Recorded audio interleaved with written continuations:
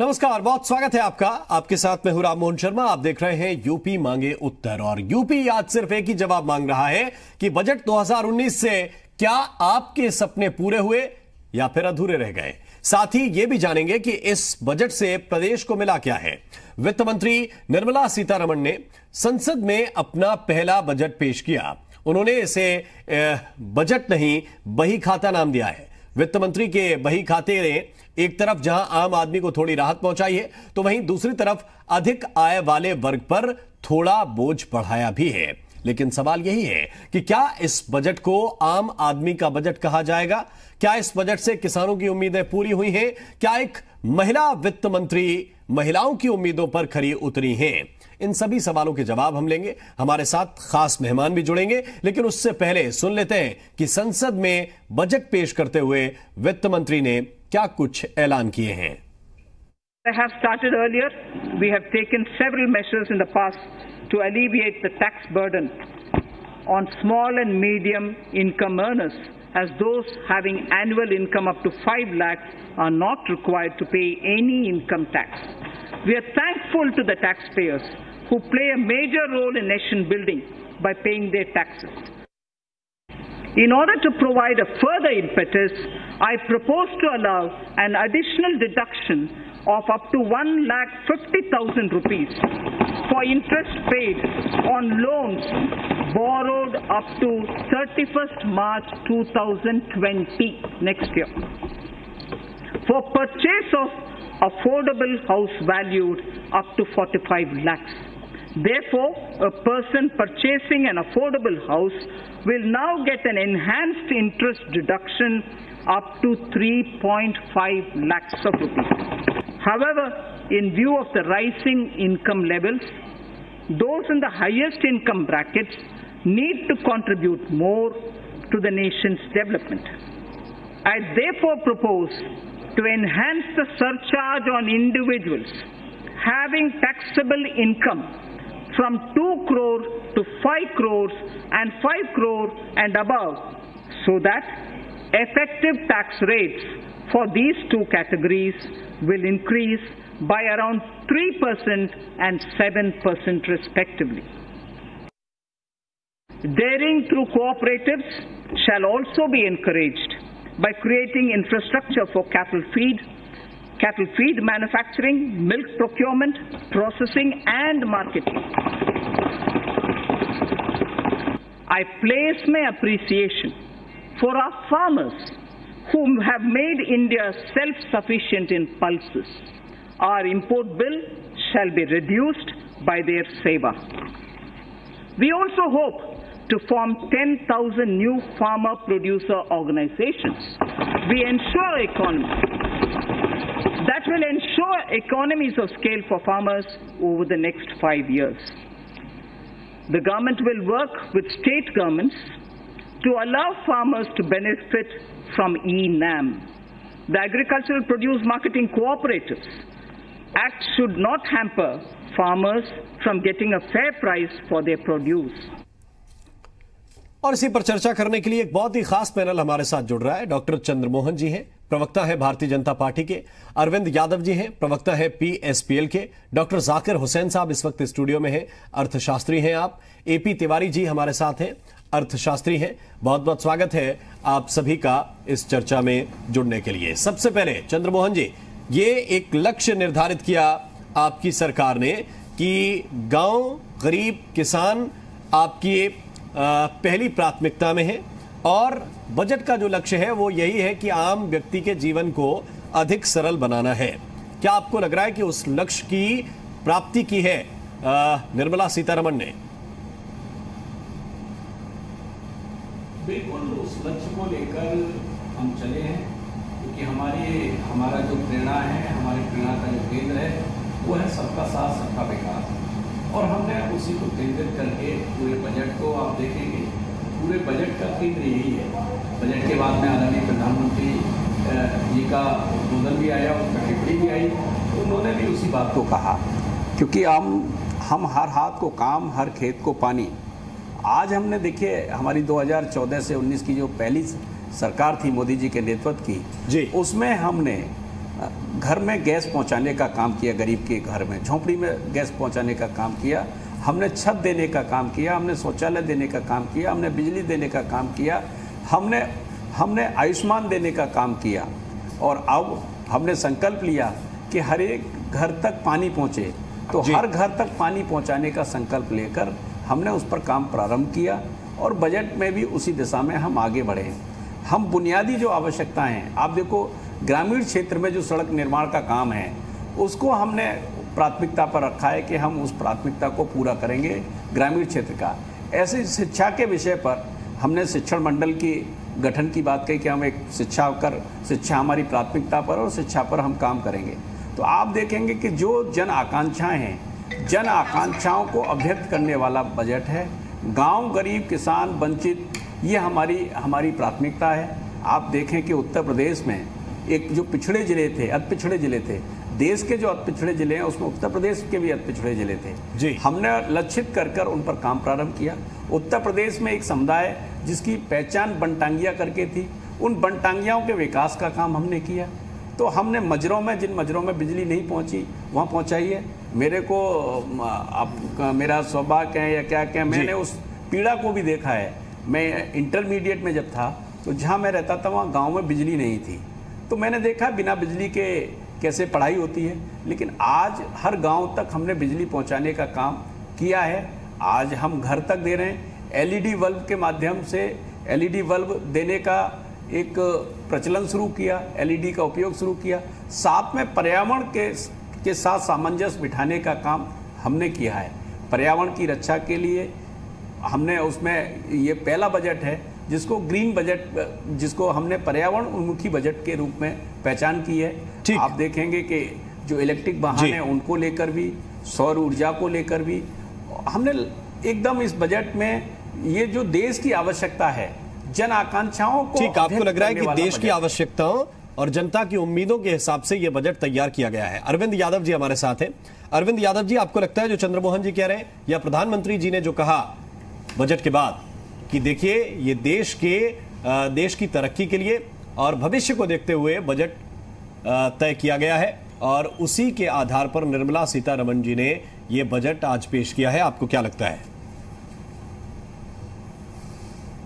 नहीं, राम मोहन जी, मुझे लगता है कि जिस तरीके से पिछली सरकारों में बजट आती रही है और जिस तरीके से संभावनाएँ दिखती रही, वह संभावनाएँ जो भी रही पिछली सरकारों में, उस पर तो भारतीय जनता पार्टी खड़ी उतरी नहीं, ना सरकार खड़ी उतरी।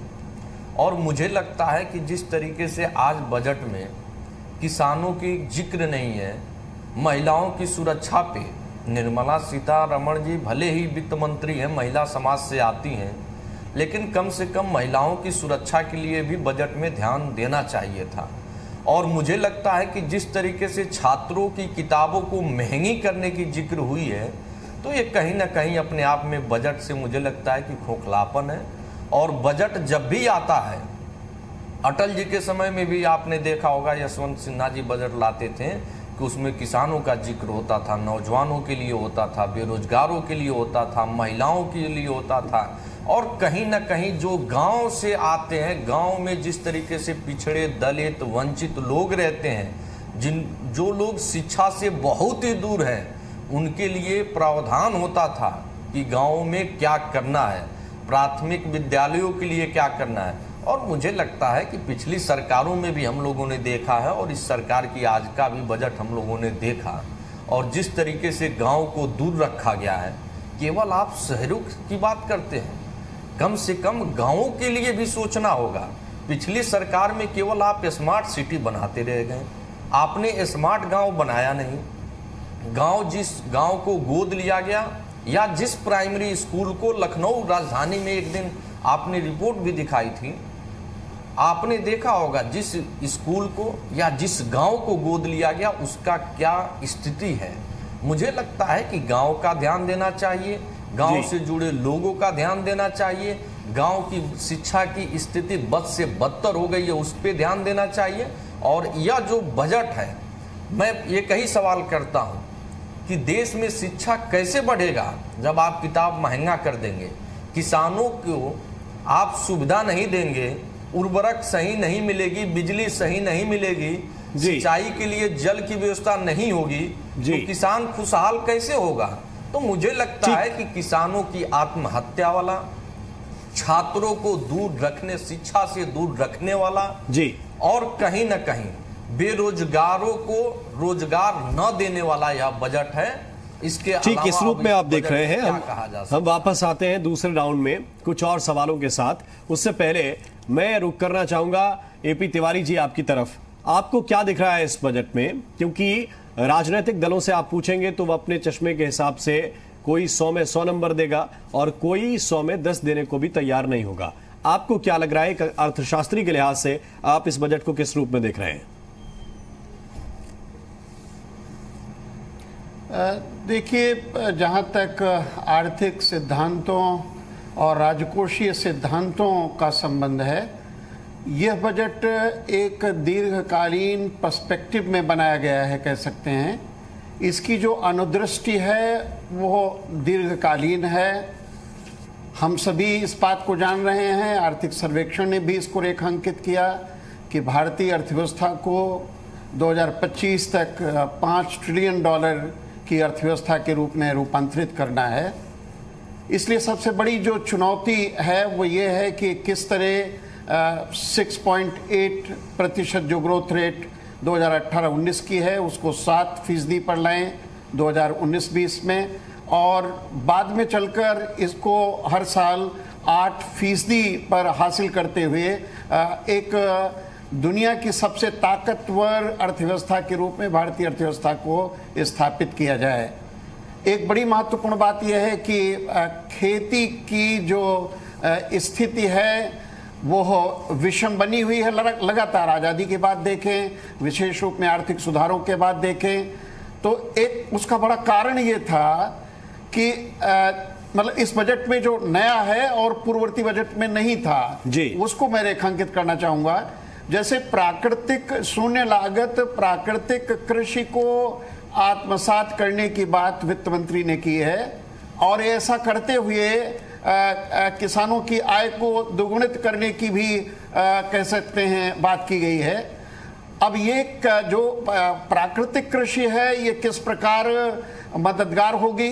हम लोग ये कहते रहे कि आर्थिक तौर पर अगर इनपुट और आउटपुट मैट्रिक से चले तो आदानों की लागत, इनपुट की लागत किसानों के लिए ज़्यादा पड़ती है और उनके फ़सल के लिए जो कीमत मिलती है, वो कम मिलती है।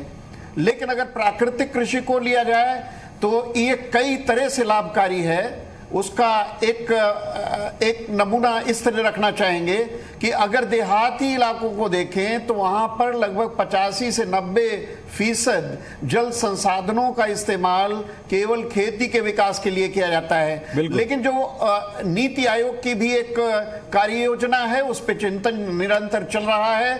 अब एक रोडमैप बनाना होगा इसका कि किस तरह प्राकृतिक कृषि को लागू किया जाए। इसमें हम प्र- जी, जो शून्य लागत प्राकृतिक कृषि है 90 फ़ीसद जल संसाधनों की बचत कर ले जाएँगे।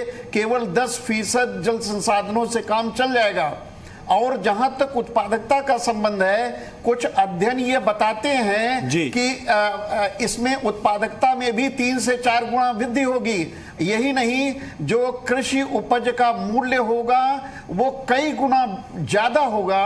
तो एक तरह से ये एक टिकाऊ खेती विकास की एक रणनीति को संकेतित किया गया है और उसमें इंडिकेट किया गया है इस बजट निर्मला। सीतारमण ये कह रही मैं कि किसानों को ऊर्जादाता बनाने की दिशा में ये सरकार देख रही है कि ऊर्जादाता किस रूप में किसान बने। डॉक्टर जाकिर हुसैन साहब भी हमारे साथ, उनका भी एक व्यू लेना ज़रूरी है। इसके बाद डिबेट ओपन करूँगा मैं।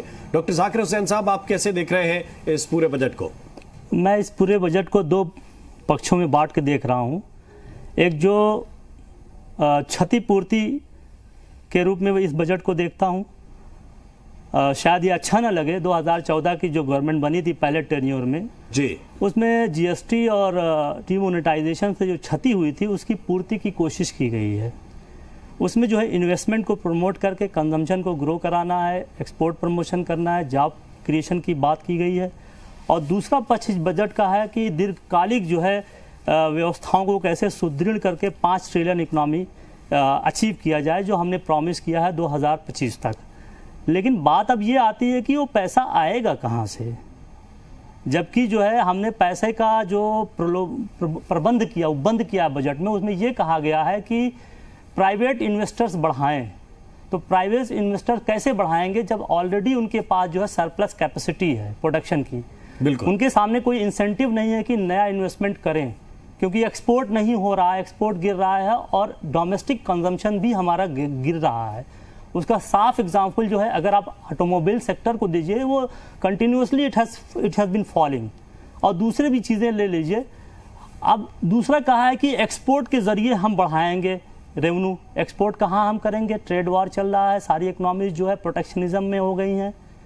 चाइना को हम कैसे कम्पीट करेंगे? मेक इन इंडिया हमारा उतना कामयाब नहीं हुआ कि हम एक सक्सेसफुल जो है मैन्युफैक्चरिंग हब इस्टेब्लिश हों। अब तीसरा सेक्टर जो वर्टुअस साइकिल ऑफ़ इन्वेस्टमेंट की बात की गई है तीसरा जो है वो हायर टैक्स कॉम्प्लायंस ज़्यादा टैक्स कलेक्ट करना वो कैसे हम करेंगे? जी। हमने ऑलरेडी जो है पीक पे अचीव कर लिया है। एक पक्ष ये है दूसरा पक्ष हम विलेज की तरफ़ बात करते हैं। नो no डाउट उसमें कोई शुभा नहीं है कि मोदी गवर्नमेंट ने विलेज के लोगों के को ध्यान रखा उसमें बिजली की व्यवस्था की है उज्ज्वला की है क्लीन फ्यूल किया है स्वच्छ भारत किया है। अब जो है 2022 में जो है स्वच्छ जल जो है पे की व्यवस्था की मतलब गारंटी दी है और हाउसिंग की भी दी है। लेकिन पैसा कहाँ से आएगा? ये फार्मर्स ये पुअर जो है दो डॉलर से भी कम कमा रहे हैं जहाँ पे 60 परसेंट से ज़्यादा पब्लिक रही है उनके पास इनकम कहाँ से आएगी? जॉब का कोई प्रोविज़न है नहीं। जी। एम्प्लॉयमेंट का जनरेशन का कोई प्रो, प्रोग्राम है नहीं ये कहाँ से आएगा? तो सबसे बड़ा जो हमारे सामने चैलेंज है इस बजट का जो इसीलिए मैं कहता हूँ क्षतिपूर्ति की एक कोशिश में है और फ्यूचर में कैसे हम अचीव कर लेंगे ये सारा बेस कर रहा है इन्वेस्टमेंट प्रमोशन पर। कैसे हम इन्वेस्टमेंट प्रमोट करेंगे ये खैर ठीक मतलब यानी मोटा मोटा सवाल डॉक्टर चंद्रमोहन जी ये है कि पैसा आएगा कहाँ से? बहुत सारी चीज़ों के लिए आपने स्कीम्स तो दिए हैं कि हमें आ, हर घर तक पाइपलाइन के ज़रिए पानी पहुंचाना है जल पहुंचाना है और स्वच्छ पेयजल पहुंचाना है। ये बहुत बड़ी चुनौती है सिर्फ़ सोचने में आसान लगता है। आ, इसके लिए व्यवस्थाएँ किस रूप में होंगी? किस रूप में अगर आप लगातार मकान बनाते जा रहे हैं तो उसका बजट कहाँ से आएगा? ये चिंता अर्थशास्त्रियों को हो रही है।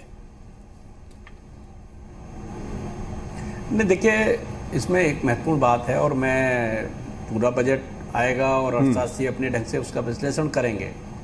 लेकिन भारतीय जनता पार्टी के कार्यकर्ता के रूप में ये बात मैं ज़ोर दे के कहूँगा कि उत्तर प्रदेश में जब हमने फ़सल ऋण मोचन योजना लेके आए तो सभी लोगों ने सवाल उठाए कि इसको कर ही नहीं सकते पूरे। और केंद्र ने पैसा देने से मना कर दिया, अब इसको कैसे पूरा करेंगे? लेकिन उत्तर प्रदेश ने जो संकल्प लिया कि एक लाख तक का हम किसानों के फ़सल ऋण मोचन करेंगे तो हमने ऋण मोचन करके दिखाया। कई राज्य हैं जिनमें ऋण मोचन सफल नहीं हुआ। मुझे उन राज्यों के नाम लेने की आवश्यकता नहीं है, लेकिन उनमें नहीं हुआ सफल। हमने उसको सफलतापूर्वक किया। हमने कहा कि हम आप देखिए, आज देश में नंबर वन है प्रधानमंत्री आवास बनाने में उत्तर प्रदेश। कैसे हो गया नंबर वन? हमने रिकॉर्ड समय में प्रधानमंत्री आवास बनाने का काम किया है। हमने बिजली का संकल्प लिया, उसे पूरा किया। जब हम संकल्प लेते हैं और हमारी नीयत साफ़ होती है तो उस तरह की व्यवस्था, जैसे महिलाओं के संदर्भ में इस बजट में व्यवस्था की गई है कि पाँच हज़ार रुपये जो जनधन खाते महिलाओं के हैं, उसमें ओवरड्राफ्ट की व्यवस्था की गई है। तो ये, अब जैसे श्रमिकों के लिए कर्मयोगी योजना लेके आए हैं। तो हम जब योजना लेके आ रहे हैं तो उसके लिए उसके लिए पूर्व योजना क्योंकि हम लोग जिस आइडियोलॉजी के हैं उसमें पूर्व योजना पूर्ण योजना लेकर हम चलते हैं हम कोई ऐसा नहीं है कि कोई हम सपने दिखाने की बात करें। इसलिए जनता भी हम पर विश्वास करती है क्योंकि हम झुंझुनेबाजी नहीं करते हैं। हम संकल्पों की बात करते हैं और संकल्पों को हमने पूरा अब हमने कहा किसानों को किसानों का सम्मान करेंगे किसानों के स्वावलंबन के लिए काम करेंगे तो हमने जब घोषणा की उसका शुभारंभ किया तो शुभारंभ के साथ में उसको पहुँचाने का काम भी किया। ऐसा नहीं है कि भाई पुल का पुल का शिलान्यास हो गया और पीढ़ियाँ चली गई और वो पुल नहीं बना। आज वो राजनीति नहीं है। आज रेस्पॉन्सिबिलिटी की राजनीति है। आज परफॉर्मेंस की पॉलिटिक्स है। आज परफॉर्मेंस की गवर्नमेंट है। आज हमने और केंद्र की सरकार ने हमारी ने निर्णय लिया। और जो लोग लापरवाह लोग थे उन पर कार्रवाइयाँ हुई हैं। उनको हटाने का काम किया है। तो आज हम जो जो जिस तरीके से कि लट, लटकाना भटकाना तड़पाना ये जो। ये जो ये जो ये जो वर्क कल्चर था हाँ। तो हमने तो वर्क कल्चर में परिवर्तन करने का काम किया है अब अटैची चलती थी अटैची आती थी लेकिन आज देश में हुआ कि पूर्णकालिक पहली महिला वित्त मंत्री ने बजट पेश किया फ़ाइल में अपना कागज़ लेके गई और प्रस्तुत किया तो लगातार क्योंकि हमारे आदर्श है हम जी। गांधी जी का जो गांधी जी का जो दर्शन है वो हमारे सामने है। तो हम समाज की अंतिम अंतिम पायदान पर खड़े हुए व्यक्ति हमारे सामने दीनदयाल जी का दर्शन है हमारे सामने अटल जी का बनाया हुआ एक रोड तो मैप है। अंतिम पायदान पर खड़ा व्यक्ति आपके बजट को किस रूप में रेट कर रहा है? हम कोशिश करते हैं कि कुछ चीज़ें लाइव आ जाए। हमारे साथ विनोद मिश्रा इस वक्त लखनऊ से जुड़ गए हैं। विनोद, किस रूप में लोग देख रहे हैं? क्योंकि बहुत सारी चीज़ें ऐसी हैं जो तकनीकी रूप में अलग अलग टेलीविज़न पे लोग देख रहे होंगे, समझने की कोशिश कर रहे होंगे। मोटा मोटा लोगों को कितना समझ में आया ये बजट? जरा हमें बताइए। देखिए, सबसे बड़ी बात है कि लोगों को बहुत ज़्यादा समझ में आया नहीं बजट बहुत लोग बजट को लेकर बहुत ज़्यादा जिस तरीके से उम्मीदें थी, उस तरह से समझ में नहीं आया कि बजट में आखिर हुआ क्या और कितना मिला, कितना फ़ायदा हुआ। हालाँकि कुछ लोग हमारे साथ हैं। इन लोगों से बात करके समझने कोशिश करते हैं कि बजट कितना समझ में आया और इनकी उम्मीदें क्या थी और ये बजट उनकी उम्मीदों पर कितना खरा उतरा है। आप लोग को कुछ समझ में आया बजट क्या आज हुआ और क्या कुछ उम्मीदें थी? क्या लगता है कितना उस उम्मीदों पर उतरा है खरा बजट ये? बजट में आज जो मध्यवर्गीय नौकरी पेशा वाला आदमी था, इस बजट से बड़ा उम्मीद लगाया था कि टैक्स का जो स्लैब्स हैं, उसमें कुछ और रिलैक्सेशन मिलेगा। लेकिन वहाँ निराशा हाथ लगी। लेकिन साथ ही साथ उन्होंने हाउस लोन को बढ़ावा देने के लिए जो उस पर ब्याज दरें हैं, उस पर उन्होंने मतलब जो दो लाख तक की छूट थी, उसको साढ़े तीन तक लाख लिया गया। तो वो बस मध्यम वर्ग के और इस तरह के लोगों के लिए है जैसे डूबते हुए में थोड़ा सा तिनके का सहारा। जो लोग अपना मकान खरीदना चाहते हैं फ्लॉट फ्लैट खरीदना चाहते हैं उनके लिए एक उम्मीद है। लेकिन और कुछ उम्मीदें थी इस बजट से? लगा कि उम्मीदों पे कुछ खरा उतरा है बजट कुछ जो इच्छाएँ थी वो कुछ पूरी हुई क्या? उम्मीदें तो कॉमन पर्सन की नहीं हुई है मिडिल क्लास की नहीं हुई है खासकर जो सैलरीड पीपल हैं उनकी नहीं हुई हैं। बाकी सेक्टर्स में तो अच्छा ही किया गया है। सोशल इंफ्रास्ट्रक्चर में अच्छा किया गया है। एग्रीकल्चर को प्रमोट करने के लिए ऑयल सीड ऑयल पॉम में प्रयास किया गया है। फिशरीज के लिए एक नया स्कीम लाया गया है। तो इन चीज़ों को गवर्नमेंट चाहती है मेरे ख्याल से कि एलाइड सेक्टर और एग्रीकल्चर सेक्टर को प्रमोट किया जाए ताकि जो मिडिल क्लास है वो केवल शहरों का मिडिल क्लास ना रहे गाँव में भी मिडिल क्लास तैयार हो और इस कंट्री के बैकबोन की तरह काम करे। तो आपके हिसाब से बेहतर बजट था ये? अब आप आई कैन से आप कह सकते कि बेहतर है। आप तो सीनियर सिटीजन है। आप, आपके लिए कुछ था क्या इस बजट में? आपको कुछ मिला? 2019 वाला जो बजट आया है ये जी। इसमें वायदे तो इन्होंने बड़े बड़े किए हैं। जी। जैसे एक करोड़ पिचानवे लाख ये मकान बनाएँगे जी। सड़कें बनाएँगे उनका कुछ टारगेट बनाया है। किस हद तक अचीव होंगे? ये नहीं पता। मैं सैलरीड पर्सन रहा हूँ। मेरा बेटा भी जॉब में है। जी। तो इनकम टैक्स वाले जो चैप्टर था वो इन्होंने बिल्कुल नहीं छेड़ा। धन्यवाद तो दिया ना। धन्यवाद कहा। धन्यवाद कहा। हाँ तो हमें इस वजह से ये थोड़ा अच्छा नहीं लगा। अच्छा। हाँ। बतौर सीनियर सिटीजन आपको लगा कुछ मिला आप लोगों के लिए? हाँ ना उसमें हमें कुछ नहीं मिला। कुछ खास हासिल नहीं हुआ। ठीक है। हाँ, कुछ खास तो आम लोग बहुत खुल के बोलते हैं जो उन्हें समझ में आता है जो वो देखते है हैं वो बहुत खुल के बात कर रहे हैं। एक छोटा सा ब्रेक हम यहाँ पर ले रहे हैं। ब्रेक के बाद आएँगे तो ये ज़रूर पूछने की कोशिश करेंगे मेहमानों से कि क्या हमें ये आदत हो चुकी है कि जब तक लोक लुभावन चीज़ें ना हो तब तक हमें कोई अर्थशास्त्र जचता नहीं है अच्छा लगता नहीं है। क्या ये वजह है कि मोदी सरकार के इस बजट को उस रूप में लोग देख नहीं पा रहे जैसी उन्हें आदत पड़ गई एक छोटा सा ब्रेक ले रहे तुरंत हाजिर होते हैं।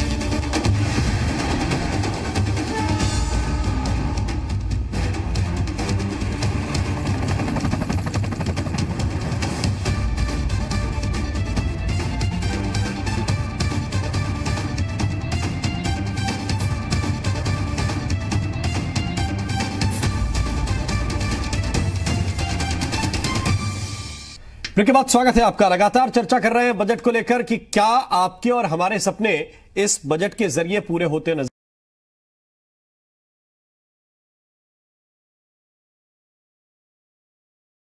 को देखने की कोशिश कीजिए।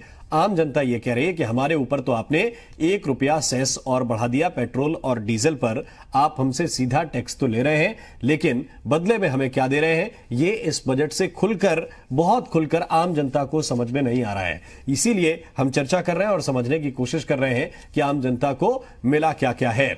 एक सवाल, अरविंद यादव जी, मैं आपसे ज़रूर पूछना चाहता हूँ, क्योंकि हमें यह आदत हो गई है कि कोई भी सरकार आए, वो हमारे हित के लिए सीधा सीधा आदान प्रदान की बात करे कि जनता को क्या दे रहे हैं आप। क्या हमें लोक लुभावन चीज़ें सुनने की इतनी आदत हो गई है कि थोड़ी सी भी कड़वी दवाई अगर दी जाए तो उसे पचाने में दिक्कत हो जाती है? नहीं, देखिए राम मोहन जी, जो आप कह रहे हैं कि सरकार की लोक लुभावन चीज़ें मैं पूछना चाहता हूँ कि सरकार चलती किससे है? अब मैं ये भी पूछना चाहता हूँ कि क्या ये सरकार के सिलसिले नहीं है क्या? आप, मैं बताना चाहता हूँ आपको कि सरकार के ये सिलसिले हैं। बजट तो हर साल आते हैं, लेकिन राम मोहन जी, गाँव के किसान, गरीब, नौजवान, महिला, पिछड़ा, दलित, मुसलमान ही ठगे जाते हैं। आपने देखा होगा। इसमें मुसलमान कहाँ से आ गया सब? उद्योगपतियों के घर में खुशहाली चाहता नहीं है। कि चर्चा को उस दिशा में ले जाऊँ।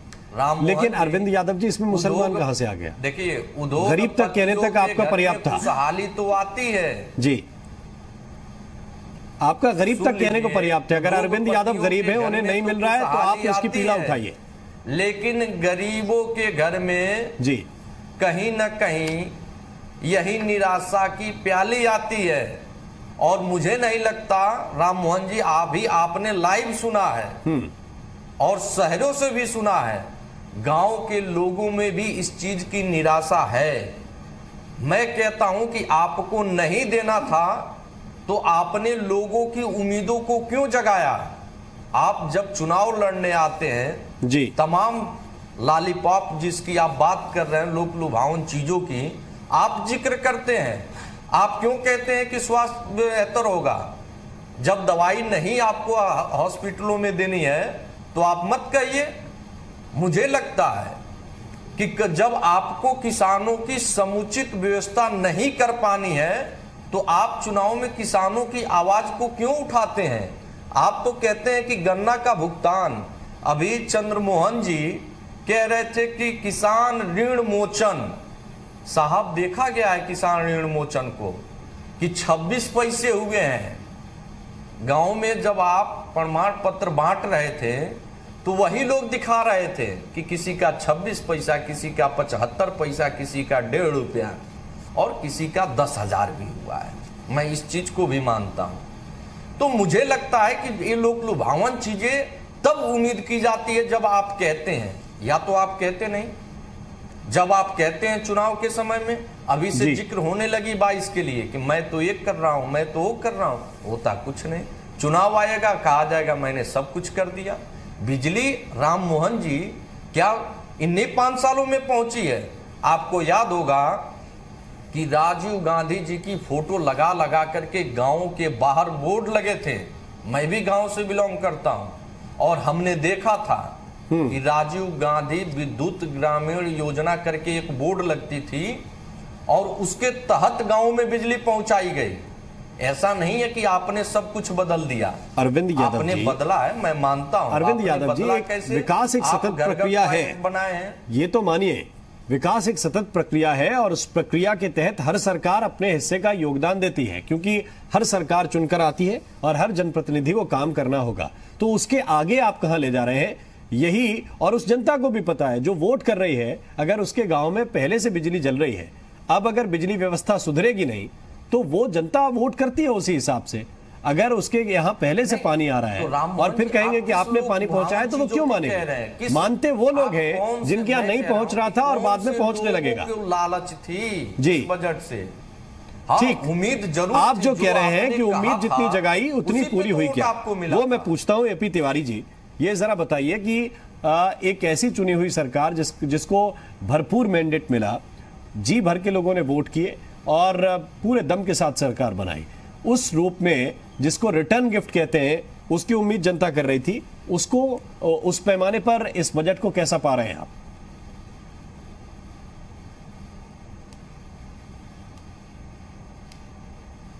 तिवारी जी।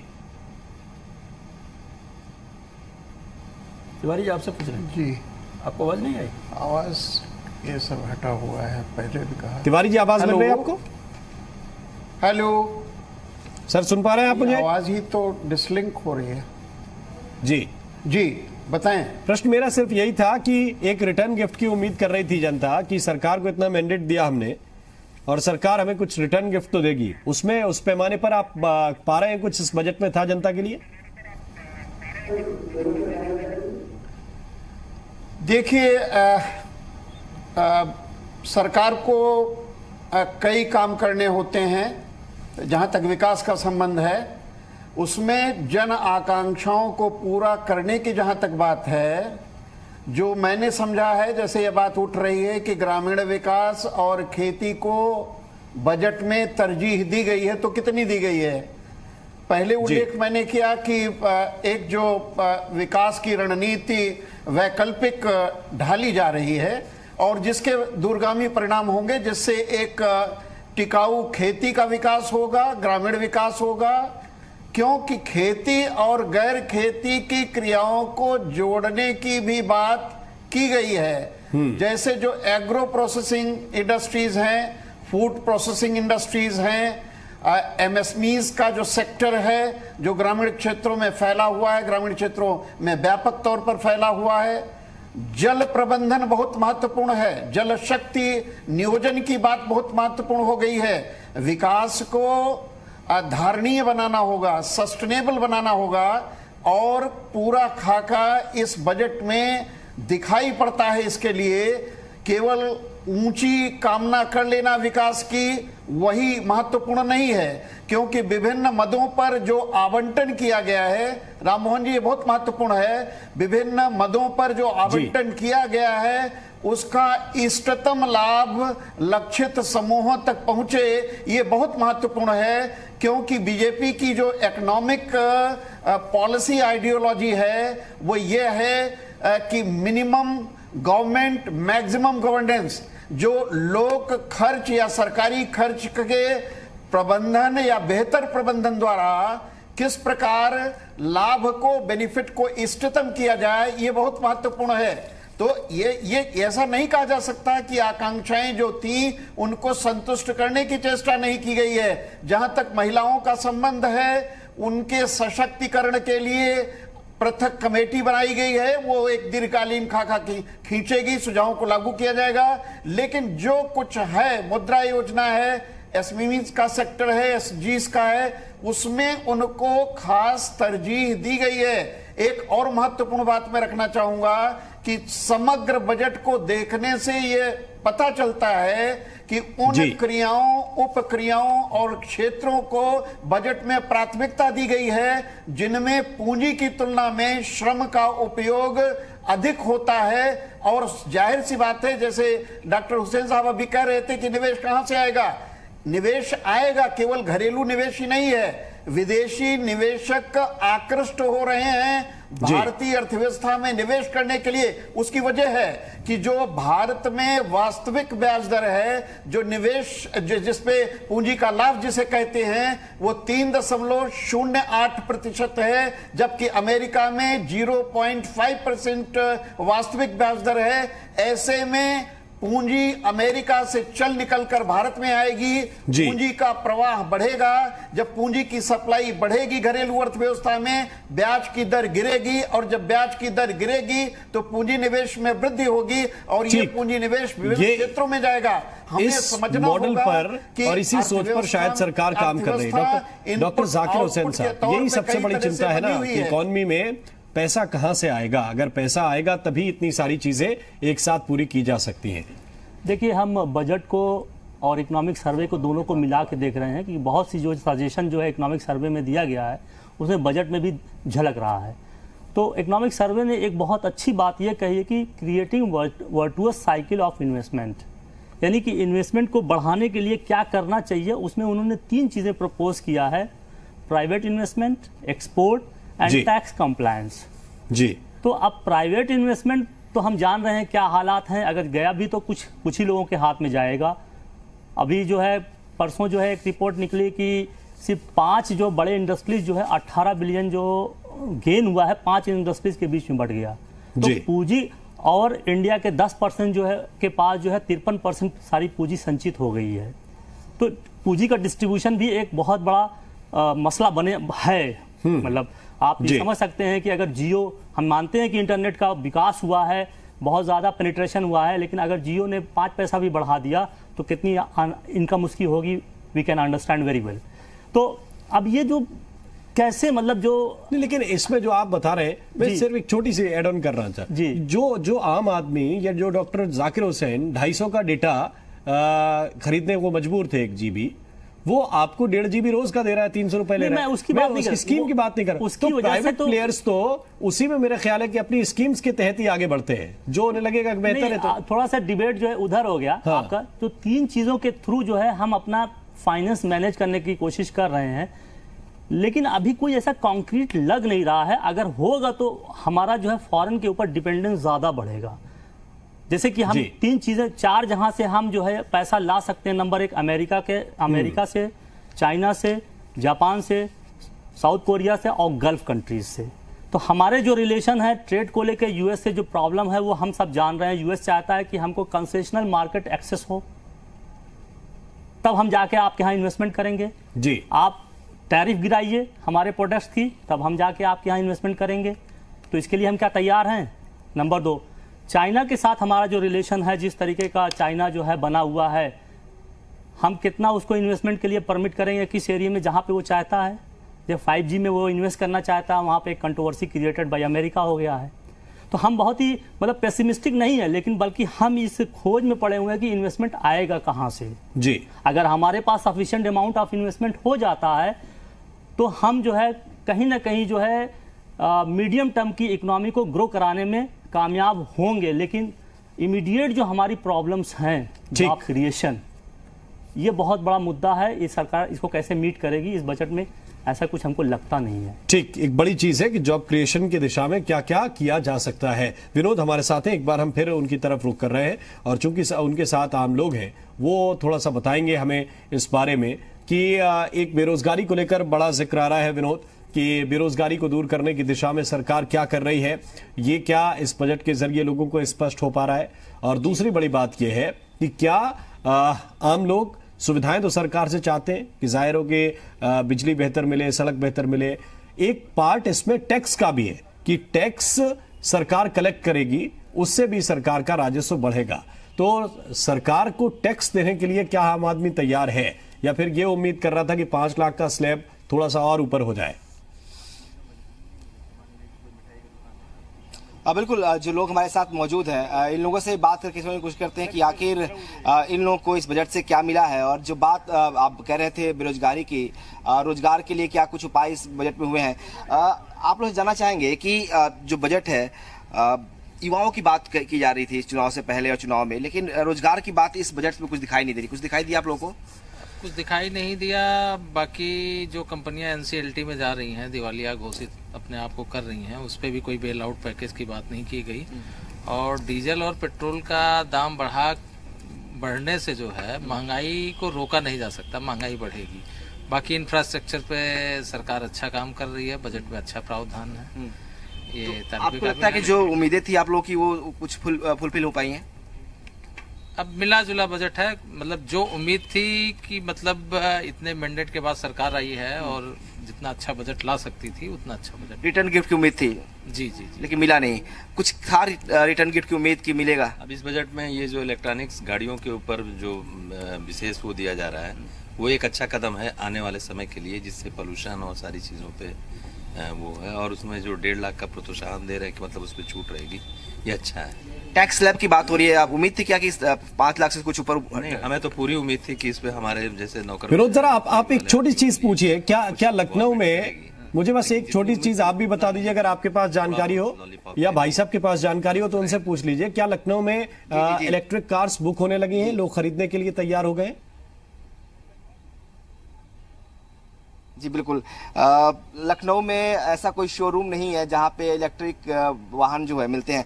इलेक्ट्रिक वाहन को लेकर बहुत प्रोत्साहन की बात की गई। आपको लगता है कि लखनऊ में ये फिजिबल है कहीं दिखता है आपको मिलता है? मैं सरकार का एक कदम है। तो कोई चीज़ जब नहीं आएगी तो कभी ना कभी तो आएगी ही आएगी। और निश्चित तौर पर आएगी क्यों? इलेक्ट्रिक से वो ऑटो ऑटो तो रिक्शा चल रहा है, ई रिक्शा चल रहा है। यस तो उसका असर तो पड़ा ही है पड़ा है ना। कभी एक जमाने में गणेश जी चलते थे। जो बड़ा वाला टेंपो बहुत ज़्यादा पोल्यूशन था। जी। आप चार बाग स्टेशन से आके हजरतगंज आने पे जी। पूरी पीली लाल नीली हो जाती देखिए पोल्यूशन की बात कर रहे थे और सरकार ने जो कहा भी है कि इलेक्ट्रिक वाहन को प्रोत्साहन दिया जाएगा ई रिक्शा चलता है बहुत बड़ी संख्या में। आप लोगों को कुछ उम्मीदें थी उसमें? कुछ फुलफिल हुआ या क्या कुछ ऐसे उम्मीदें थी आप लोग की? प्राइवेट सेक्टर का कर्मचारी होने के नाते हमें तो लगता है की हमारे लिए बिल्कुल वज्रपात जैसा ही है। आ, कुछ मिला नहीं ऊपर से जो है जो दोपहिया वाहन से हम लोग ऑफ़िस आते जाते थे उल्टा एक रुपए डीजल पेट्रोल पे बढ़ा के अब सार्वजनिक साधन जितने भी हैं वो किराया बढ़ जाएगा और हमारा जो गाड़ी का एवरेज तो बढ़ा नहीं है उसका खर्च और बढ़ जाएगा। तो पेट्रोल और डीजल की कीमतों से लोग परेशान हैं क्योंकि बताया जा रहा कि एक परसेंट से के कीमतें बढ़ गई हैं। कुछ राहत मिली नहीं कीमतें बढ़ गई पेट्रोल डीजल की? देखिए ये पेट्रोल डीजल की कीमत तो अंतर्राष्ट्रीय उस पर भी निर्भर करता है। खैर जो सेस लग लगा है वो हो सकता है कुछ दिन तक लगे पब्लिक को। लेकिन मुझे ये बजट इसलिए अच्छा लग रहा है अभी रोज़गार की बात हुई थी। जी। तो जितना टैक्स कलेक्शन होगा उससे सारे जो भी इंफ्रास्ट्रक्चर और भी जो काम होगी तो उसमें अपने आप रोज़गार सृजन हो जाता है। तो ये कुल मिला के ये बजट हमें काफ़ी बैलेंस और देश को आगे ले जाने वाला आपको अच्छा लगा बजट ये? आपको ये बजट पसंद आया? ये जो है मिला जुला बजट समझो इसको आप। ठीक। एक तो इनकम टैक्स का इसने छेड़ा नहीं। उसमें ज़रूर राहत देनी चाहिए थी मिडिल क्लास को। टैक्स स्लैब की बात कर रहे हैं हाँ हाँ हाँ इनकम टैक्स वाली। दूसरी जो है इन्होंने पेट्रोल और डीजल के रेट बढ़ाए हैं। और नेचुरली महँगाई बढ़ेगी। महँगाई बढ़ेगी। हाँ और दूसरे इन्होंने कई प्रोग्राम बनाए हैं। एक लाख एक करोड़ पिचानवे लाख जो है मकान बनाएँगे सड़कें बनाएँगे। बनाएँगी ये अच्छी इनकी प्रपोजल है और उम्मीद करते हैं कि सरकार इसको पूरा करे। ये लोगों का मानना है कि जो प्रपोजल है जो प्रधानमंत्री आवास योजना के तहत करीब दो करोड़ आवास बनाने की बात करी है एक सौ पैंतीस किलोमीटर रोज सड़कों बनाने सड़क बनाने की जो बात कही गई है। और ये पूरा होगा तो उसका फ़ायदा मिलेगा। हालाँकि लोग इस बात को थोड़ा निराश ज़रूर है कि टैक्स लैब जो इनकम टैक्स स्लैब उसमें कोई बदलाव नहीं हुआ। सेस बढ़ाने से पेट्रोल और डीजल की कीमतें बढ़ गई। तो महँगाई का मार एक बार फिर लोगों पर पड़ेगा और उससे लोग थोड़े से ज़रूर चिंतित हैं। ठीक है। बहुत बहुत धन्यवाद। बहुत बहुत शुक्रिया विनोद आपका भी और उन लोगों का भी जिन्होंने अपनी अपनी प्रतिक्रिया दी है। हम चंद्रमोहन जी आपके पास आना चाहते हैं। और जब हम ज़िक्र कर रहे हैं लोगों की प्रतिक्रिया तो आप सुन ही रहे हैं कि मिला जुला है। सड़कें बन रही हैं, मकान बन रहे हैं, बहुत अच्छा काम है। थोड़ा सा महँगाई पर नियंत्रण रखें। अगर पेट्रोल, डीजल बढ़ेगा तो किसी और दिशा से।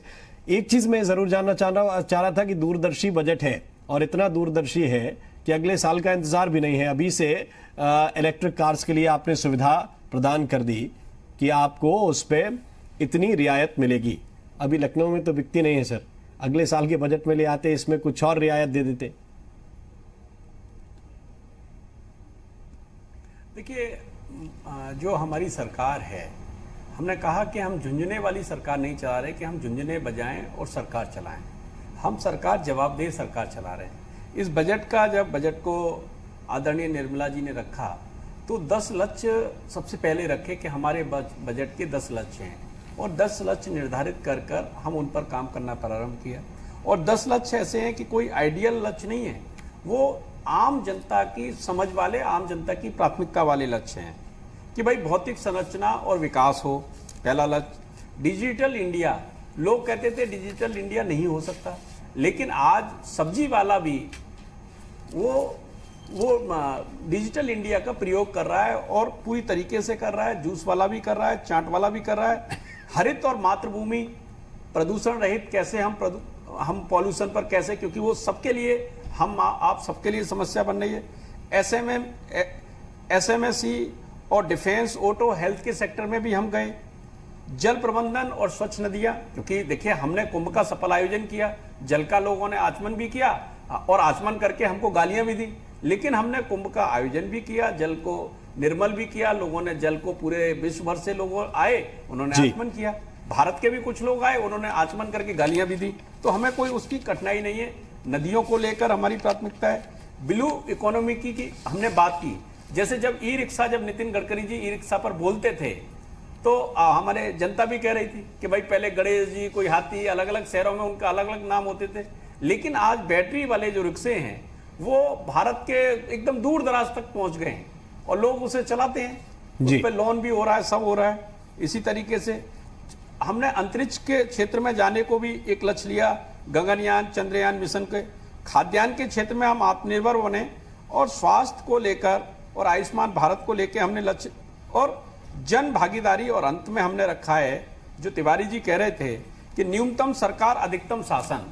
तो न्यूनतम सरकार अधिकतम शासन ये हमारा गाइडलाइन है। और ये किसके लिए? अंत्योदय के लिए।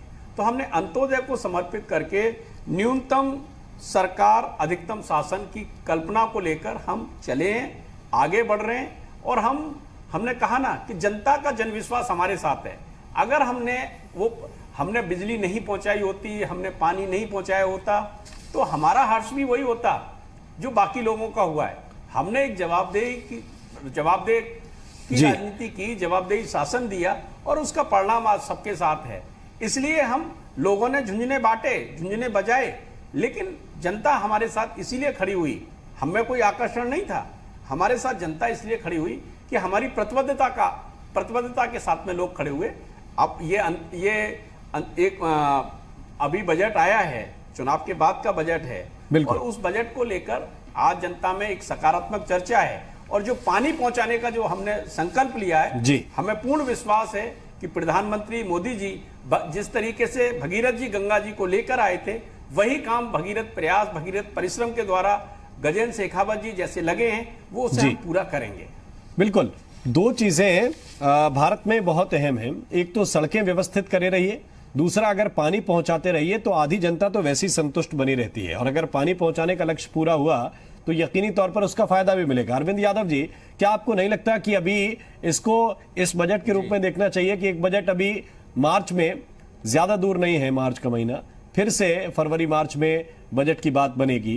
तो उससे पहले ये पर्याप्त है अभी? जी। या आपको लगता है कि थोड़ा बहुत और हो जाना चाहिए था शिक्षा और स्वास्थ्य को लेके?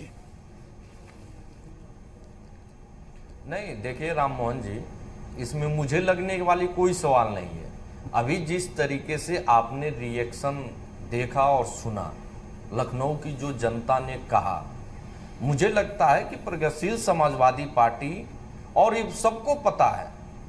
आप भी जानते हैं कि प्रगतिशील समाजवादी पार्टी उसके नेता और उन नेता माननीय श्री शिवपाल सिंह यादव जी के नेतृत्व में हम सभी लोग का कार्य ही यही है कि हम जनता की आवाजों को और कैसे बुलंद करें। जी। जनता में इस बजट का काफ़ी विरोध है गुस्सा है। लोगों को जिस तरीके से सपने दिखाए गए थे वो साकार नहीं होते दिख रहे हैं। जिस तरीके से लोगों को जुमले दिए गए उस पे इन तरीके से जिस तरीके से जुमलेबाजी की जा रही है तो कहीं ना कहीं इस पर विरोध है। मैं मानता हूँ मैं कहता हूँ कि बहुत अच्छा है। कि आपने इलेक्ट्रॉनिक कार के लिए बढ़ावा दे रहे हैं। लेकिन अभी विनोद जी ने भी कहा और मैं भी कह रहा हूँ कि लखनऊ में आपने देखा होगा पिछली सरकारों में ही नहीं उसके पहले ही ई बाइक आई थी। नो पेट्रोल ऐसे करके। तो मैं कहता हूँ कि वह सफल हो नहीं पाई। ई रिक्शा की स्थिति यह है कि आदरणीय योगी जी ने कहा कि हजरतगंज राजभवन कॉलोनी और इधर कुछ मार्गों को उन्होंने चिन्हित किया और कहा कि इधर ई रिक्शे नहीं आएँगे। हम लोगों ने उस पर जाकर के विरोध जताया और कहा नहीं ई रिक्शे यहाँ भी आएँगे। और ई रिक्शे को चलवाने का कार्य चुनाव के पहले प्रगतिशील समाजवादी पार्टी ने किया। और मुझे लगता है कि जो। भी सराहनीय कार्य होगा उसके हम लोग साथ खड़े रहेंगे। ठीक लेकिन जिस तरीके से पेट्रोल डीजल के दाम बढ़े हैं जिस ठीक तरीके से जहाँ पे कमियाँ हैं वो ज़ाहिर बात है कि लोग भी उसको पॉइंट आउट कर लेते हैं। और जहाँ जहाँ बेहतर हो रहा है इसी को सार्थकता कहते हैं। है। अगर इतनी सार्थकता के साथ जनता भी चलती रहे विपक्ष भी चलता रहे तो सरकार का काम थोड़ा सा आसान ज़रूर हो जाता है। बहुत बहुत धन्यवाद बहुत बहुत शुक्रिया आप सभी मेहमानों का हमारे साथ इस चर्चा में शरीक होने के लिए। और इसी के साथ यूपी मांगे उत्तर में अभी के लिए बस इतना ही। नमस्कार।